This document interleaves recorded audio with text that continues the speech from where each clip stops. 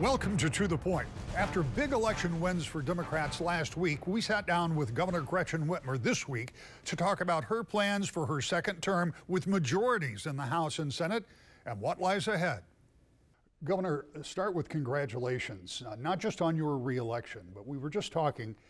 This is the kind of election that I haven't seen in the 27 years that I've been covering politics in Michigan. Um, and it is not often that Democrats control all of the executive offices, the Senate and the House, not to mention the Supreme Court. What was that election night like for you as you saw those numbers come in and you saw those majorities start to rack up? Well, it was surreal. You know, I felt good going into the election, uh, but I'll tell you this. You know, Senator Jim Ananich, the Democratic leader in the Senate, kept telling me throughout. He's like, if you hit 52%, we're taking the Senate. And um, Donna Lasinski said, you know, you got to hit that number, maybe even a little bit better. So to end up with an 11 point um, margin and to have flipped both the House and Senate, you know, it was really gratifying because it, we've been through a lot. It's been hard few years. And um, that the people of Michigan have, have spoken and have hired me to do this for four more years is it's the honor of my life. And, and I was so grateful to see the outcome of the election last week. What are the things that you want to start with? I know that you're not going to lay out your entire agenda. They're getting ready for the inauguration even as we speak. There'll be a state of the state. There's all of that to do. But we know that there are some things that Democrats, when you were the minority leader, when you were in the House, there were things in the drawers of a lot of Democrats, bills that were just waiting to come out. I assume they do come out now. What are some of those things? I think you know there, there won't be a lot of surprises, right? I mean, I've got a record of working in the legislature. People know where I stand on issues. I think um, one of the things that you know I'm, I'm, impressing upon the legislature is we've got to stay tethered to the kitchen table issues. That's what we've worked on for four years. We've laid a great foundation. Now is the time to put our foot on the accelerator. So whether it's out competing other states for investment in Michigan, it is continuing our work in education so we can get to that top 10 in literacy goal um, those are going to continue to drive everything from the budget to policy uh, changes.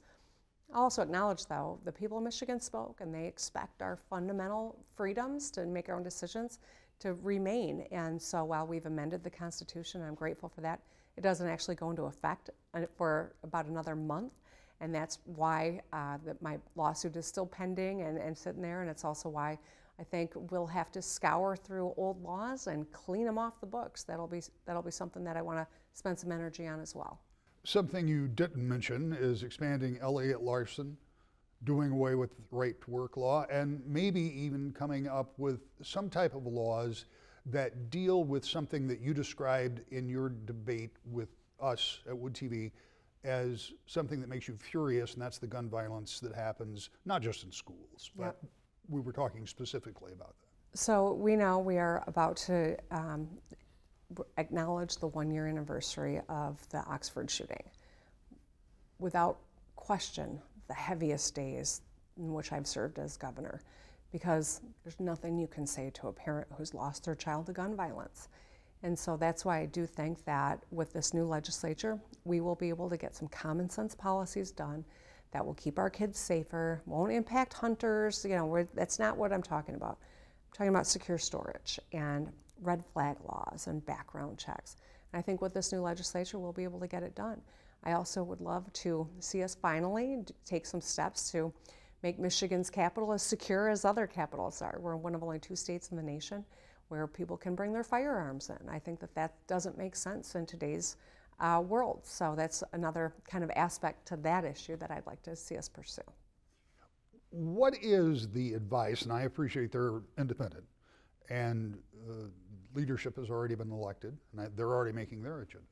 But as somebody who has served in the House and the Senate and always in the minority, what is your advice to the new leadership about, first of all, keeping together very narrow majorities? Mm -hmm. So mm-hmm. let's stipulate that if Democrats lose one in the House, they're out. They've got a little extra room in the Senate because uh, of the lieutenant governor who can break a tie. But you got to keep everybody, you know, pulled together. And, and one former speaker told me that was kind of like herding minnows uh, to get all of the caucus uh, kept together. What is the advice you would give for leadership to try to get things in front of their caucus that they can pass? Well, I think, you know, I've got great relationships with incoming Speaker Joe Tate and incoming Senate Majority Leader Winnie Brinks. They're both phenomenal leaders. I'm excited to serve with them. They're also very pragmatic, you know, as, as, as am I. And I think that will continue to be important that we're really thinking what are the outcomes here? What are our goals? What does this mean for building up votes? And you know what? I still would love to be able to say everything we do is bipartisan. And so the minority leaders who are coming in, will continue to have a seat at the table. I will keep holding those quadrant meetings. They don't stop just because Democrats are now the majority party in Lansing in both chambers of the legislature. A two seat margin is not overwhelming, as you pointed out, and that's why I think it's crucial that we are pragmatic, that uh, we are thoughtful, and we're inclusive. You wanted to fix the damn roads. And in order to do that in your first term, you decided you needed to bond some money because the legislature wasn't willing to talk to you about a tax increase at the gas tax, right? The legislature has since put some more money into uh, infrastructure funding, and the federal government has come up with a big bipartisan bill that will help. But that's not enough. It's ongoing and it's going to be there. And the mechanism for funding roads, which is the gas tax largely, is going to become less and less reliable as we get more and more electrified. You were not able in your first term to get a new stream of funding. Is that something you think you can get? And a little inside ball, but I think it's, it's interesting. Does it also change the formula? In other words, does PA 51 have to be looked at and, and decide a different way to split up money and where it comes from? I think what we're going to need to do is to get a group together to start putting um, a, a informed plan on the table and one that is can be uh, comprehensive and long term. The auto industry is going through a historic transformation. And a lot of that work is happening here in Michigan, and that's great for our economy. But we also have an outdated mode of funding our roads, as does every other state. No state has figured this out yet. Some have got some pilot projects that they've done to determine how you might measure miles traveled, for instance. Um, so I think we're up to this task. I think it's going to take, though, a lot of work. It's not going to come from one person. It's not going to come from one side of the aisle. This has to be a plan that is comprehensive, forward-looking, and inclusive of our, our locals and our state um, highway system. So there's work to be done in this space, but I, I do believe we're up to this challenge, and it's something that's important to me. I am told that the lame duck session in this legislature is going to be more lame than normal. In other words, I think very little, if anything, is going to happen. Is there anything that you would like to see the current legislature do, understanding that you could probably get that done just as well after January 1st? Yeah, I, you know, I, I will be interested to see if the Republican leadership wants to come back and do anything before they leave town.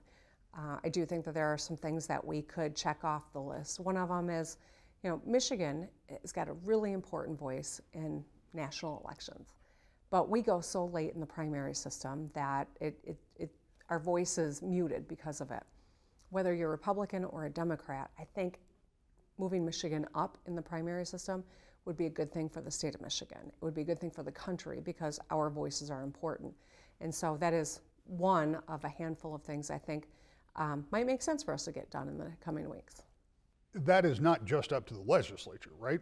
That's, right. The DNC and the RNC would have to sign off too. We have to change it via statute to permit it, and then you know work on DC. Uh, that work in DC is being done on both sides of the aisle. Uh, the, the biggest question is, are we going to change the legislation?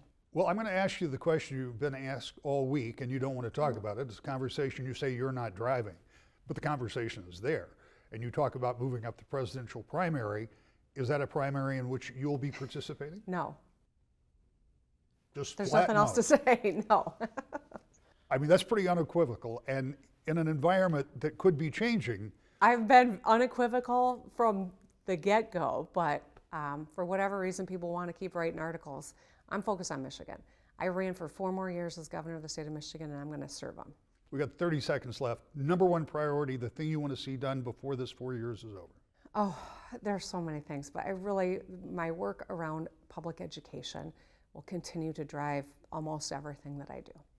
Governor, thank you for your time. Thank you. When we come back, part of our conversation with the outgoing dean of the state congressional delegation. That's next. To the point. Welcome back to To the Point. A few weeks ago, I sat down with Congressman Fred Upton, who opted not to run again in 2022, and that brought to an end more than four decades of service in Washington. We talked about changes he saw and some of the things he sees as successes in his career. Before we sat down for this interview, I had a little fun. I wanted to go back and refresh myself on uh, your career.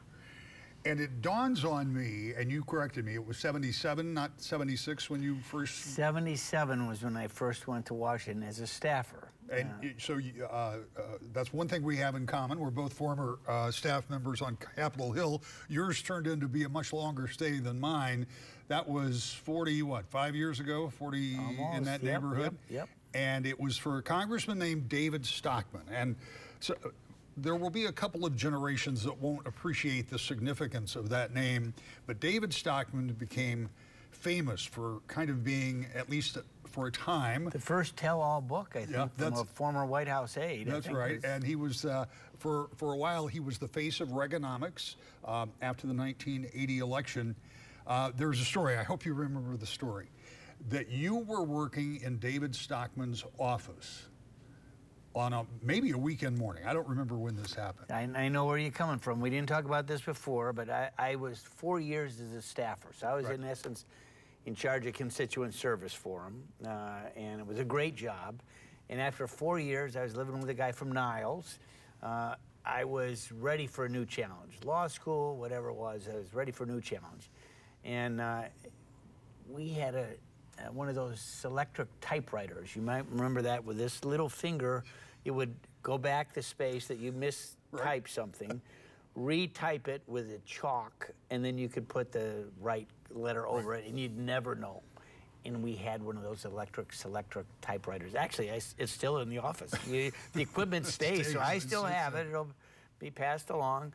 But I was on that Sunday of Thanksgiving weekend in the afternoon. I went in to use that to write, work on my resume after the four years, and uh, I was working. The phone rang about 2:30 in the afternoon on Sunday, and I said, "Congressman Stockman's office. How can I help you?" And this voice said, "Is he there?" No, sir, he's not. Well, I'd really like to talk to him. Well, congratulations, Governor. Well, this is Ronnie Reagan. I know. I recognize your voice. He said, Well, let me give you my number. I'm at the ranch. Can you find him today? I said, Yep. He lives next door to me on Capitol Hill. I'll find him. And uh, with that, he was offered a job in the in the cabinet, and uh, So, I uh, ended up uh, going to the, the White House and working for him as a junior legislative assistant, and then I ended up running the shop for legislative affairs. Uh, you know, for three four years later. Yeah, and this was at the Office of Management and Budget. Correct, yep. And and that's where Stockman went. And he, uh, David Stockman, not to spend any more time uh, on him, other than uh, he was once famously taken to the woodshed. Man was more than famous. it was like I don't know how he survived, but he did. He I, had- I was wondering that today as I was reliving that in my mind because. In my mind, it seemed like he was gone thereafter, but he wasn't. Yeah. He stayed for the for the duration. Yeah, it was like you could. Uh, President Reagan. It was like he didn't have to open the window to shout his name, and the, and the folks that came after him. But he did survive, and you know he, his concern was the deficit and getting it down. And um, he talked to William Greider, who wrote the book, Right. and. Um, it was really the first tell-all book. Now everybody does it. You know, Right. Barr does it. All you know Trump people are doing it. uh, You know, And and as a matter of course, neither Republicans or Democrats have been able to do much about the deficit. but- yeah, yeah. Uh, Well, it was a lot less back then. Yeah, say that's that. right. Yeah, it was. It might have Uh, it been like Forty-eight billion dollars. You know. Anyway. You ran for office first time in 86, 86, and so you've been in a different numbered district, but the same basic uh, geographic area for that entire time. What has it been like to see how the district has changed, how the needs have changed, maybe even how some of your views have changed over that period of time? Well, I well, I think that I've been pretty consistent. Um, you know, I I really got my stripes. First of all, I never thought I'd run for legislative office. Uh, my, my wife said, "Go ahead. You're not going to win. We'll get it out of your system." She never thought we were going to win, and she'll say that even today. Um, but I had the Reagan model: uh, a Republican president, a Democratic Congress. He got things done. The real test, of course, is your reelection four years later. Reagan, of course, won 49 states as a Republican. He won California, New York, Massachusetts. He only lost Minnesota, where, of course, Mondale, his, Right. his opponent, came from. And so from the beginning, I said, I'm going to work with both sides to get things done. That's what I'm going to do. I, I, I'll confess, I never thought the Republicans would be in the majority because for my lifetime, pretty much, they never had been until I was elected a number of years later. And of course, it's a real difference if you have that gavel and you can control the agenda and you end up being on a great committee like I did, Energy and Commerce, and actually later become chairman with lots of successes. And again, worked with a Democratic president. It was Obama all six years. So the only way to get things done is to have him sign them into law, which you got to move through the House and the Senate to get things done. Uh, but you know, when I was first elected, I think we had 18 members from Michigan. Now we have 13. It's a big difference. So we've lost those electoral votes in the presidential elections. Our districts have grown, so now today there are 770 some thousand people. Um, and you know, you got to rely on the redistricting foes who were certainly no friends of mine as they put much of my hometown, St. Joe, with Lake Erie. I spoke at Lakeshore High School a couple weeks ago now, and they said, "Why aren't you running again?" I said, "Well, Lakeshore is, you know, St. Joe's rival." I said, "There's supposed to be communities of interest are supposed to be together, and you guys aren't with me anymore.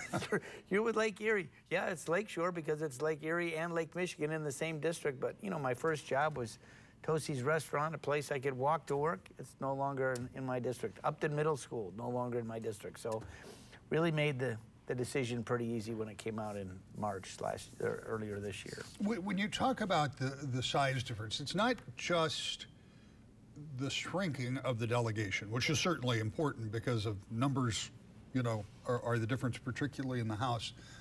But at the time that you were the chairman of Energy and Commerce, Dave Camp was chairman of Ways and Means. Over in the Senate, I think. Well, we had Mike Rogers, that- yeah, chairman of chairman of Intel. Intel. We had um, Candice Miller. She was uh, a big wig in, in Homeland Security. We had Pete Hoekstra. We, we had our delegation was viewed as one of the top, th- not being a big state like California, Texas, Florida, New York. We were viewed as one of the top three or four influential delegations on both sides of the aisle, from a John Dingell and then later Debbie Dingell, but uh, Kildee, and I mean, we had important players on every committee in very senior positions able to deliver on things like the Great Lakes on autos. You know, that was the auto rescue plan uh, came forth because I was the lead with Dave Camp in the House. We had Debbie Stabenow, we had John Dingell, and together we saved that industry because otherwise it would have gone away. But all the suppliers, of course, remember they paid the money back. I mean, that was important. But I was then a national campaign chair for John McCain. Uh, Carl Levin worked with Obama, uh, and together we got both of them to say, you know what, this is really not partisan. We need to work together to save this industry, industry save the state of Michigan. And we had the heft in our delegation to do so. The the other two that I failed to mention over in the Senate at the same time, um, Senator Levin was armed Carl was viewed as armed services chair of that, and, of course the conscience of the Senate too. He had Right. that reputation. and Senator Stabenow was chairman of agriculture. So at that moment, as you point out, Michigan had a lot of controls, had a lot of influence, had a, a, a lot of gavels in their hands in both the House and the Senate. and in the leadership too. Yep. And we're not we're not there now. We, we don't have that same. Well, we've lost again five members from when mm-hmm. I was first elected, and even though Newt, to his credit, Newt Gingrich got rid of the seniority system. I mean, think about it. I mean, even today, 2022, I would not be chairman of Energy and Commerce if I had run this time and won. It would be still somebody else because I would be waiting my turn to have the gavel that I had a dozen years ago. So that changed. Uh, to the credit of the House, Democrats haven't necessarily done that, but that was what the Republicans did. But losing five seats, losing that seniority that we had, uh, it's hurt our state in, in a lot of different ways, unfortunately. And in this particular cycle alone, if I have counted this correctly, there will be four sitting members today that will not return in January. So that means you lose whatever seniority goes Yeah, along and with it that. may be and you're- more. You know, I know Well, this is airing after sure. the election. We're taping this before, Right. but who knows what necessarily happens. Right. But you take the committees. I mean, um, Ways and Means, we don't, I mean, since Dave Camp was chairman, Republican for Midland, we don't have another Republican that's there now. We're not going to have one in this next Congress either. Uh, appropriations, we finally got somebody there, but we had three, four, five members there, uh, you know, 15, 20 years ago. Uh, energy and commerce, we've got three. I'm leaving, so uh, um, uh, Debbie Dingell and Tim Walberg likely to be elected uh, uh, for sure. But we're going from three to two, and that's again, you know, we, we lose that baseball bat, lose that clout. Let's talk a little bit about what it was like being the chairman of Energy and Commerce, because for people who don't watch or don't follow, that committee touches everything. Every day, yeah. you know, Energy, commerce covers the, the John. Dingell, the former chairman, said it's really two words. It's like charades. First word, little, the. Second word, world. The Right. world. We got it all. Yeah. Energy, environment, healthcare, some trade, telecommunications, uh, transition to digital, allowing us to have the devices to be able to text. All that came on my watch, on my as my uh, my service on the on the committee. And when you talk about getting things done, I, I, I try to think back to, I, I always kind of get stuck uh, with the 21st century cures because you worked on that for a long time. Three years. And, and, and you and I had many conversations about that. And to get it done with uh, Representative DeGette, I believe from Colorado, the two of you, Democrat. She came here to Grand Yep, Rapids. she did. I came to Denver. She actually was on this show. Um, we sat and did a joint show in Kalamazoo, I think. Um, and then get that signed, I think, on one of the last days he was in office by President President, Obama. President Obama. Uh, talk a little, little bit about the satisfaction that you got from that, because that was something that was bipartisan, and it wasn't, it wasn't about politics. It was very much about policy. Yeah, so in a nutshell, what this bill did, it took us three years to get it done.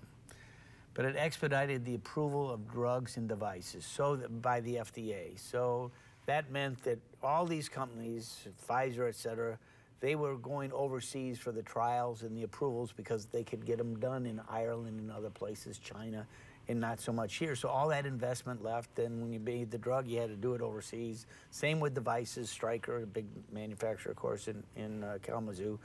So by allowing, so we moved it through the committee. It was tough sledding, but at the end of the day, 53 to nothing in our committee to get it done. Uh, we survived the filibuster in the, in the Senate. Uh, Elizabeth Warren, Bernie Sanders both wanted a filibuster. They didn't want the change. They got Chuck Schumer, now the majority leader, to support them in a filibuster to deny our bill from even being considered, and we beat them. This is where our program ended on television, but our conversation continues with Congressman Upton here at woodtv.com about how the passage of the 21st Century Cures Act paid benefits just a few years later. done in 2016. Then here's the here's the the real thing. Four years later, we get COVID. By passing that bill, it allowed Pfizer, Moderna, J and J to not only get the emergency use authorization approval by the FDA for their drug, it also allowed them to manufacture it in advance. So when that approval came in December of 20, it allowed them to, or 19, I guess it was, it allowed them to literally distribute the drug day one. And I can remember the trucks rolling out, as it turned out, Pfizer facility in, in Kalamazoo, not only all over the country, but ultimately the world. And with that legislation, getting it done, I don't know, eight, nine months before it otherwise would have happened, saved hundreds of thousands of Americans, let alone who knows how many millions uh, around the world. And of course, we're already in the, you know, a couple different boosters, but that legislation allowed that to happen. And I led the, the bipartisan effort to get it done. I'm going back a little further, and I, I my memory is not completely clear, but I'm going to go to the mid 2000s. Maybe George Bush, George W. Bush is still president.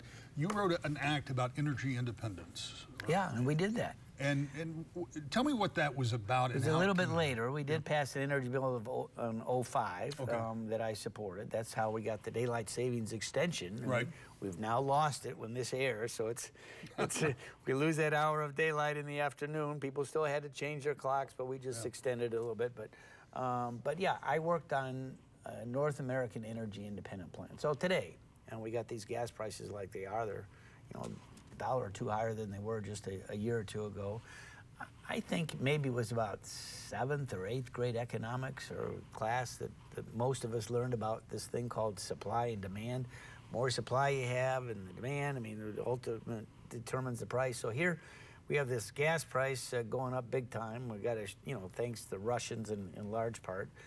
But we go to Russia, we, U.S., Biden, to say, you know, open, don't don't cut the supply, increase it so we can lower the price. It's impacting inflation, everything else, and we're not doing that here. So remember, the first thing that President Biden, I think it was on his first day of office, uh, said we're canceling the XL pipeline.